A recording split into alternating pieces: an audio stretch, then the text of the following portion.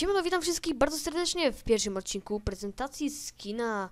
Wybrałem sobie, mam taki pomysł, żeby nagrywać takie prezentacje skina. No i coś takiego zrobiłem. Także pierwszy skin to jest taki Juggernaut. No i w jednym odcinku będę pokazywać jednego skina.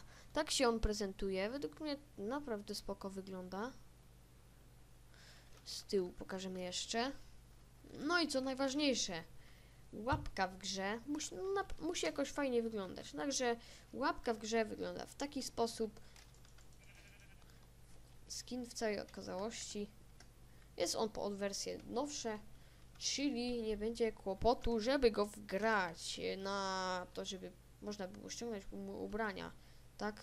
Ja akurat nie, jestem na wersji starszej chyba, także nie mogę wam tego pokazać ale na następny odcinek już postaram się być na nowszej wersji, ale wtedy będzie już to bez shaderów, także ja oceniam skin na 7 na 10, ponieważ też naj, najlepszy nie jest, w sumie nie najlepszy, naj, naj, nie najzwyklejszy, o, nie najzwyklejszy, no, jest, dobra.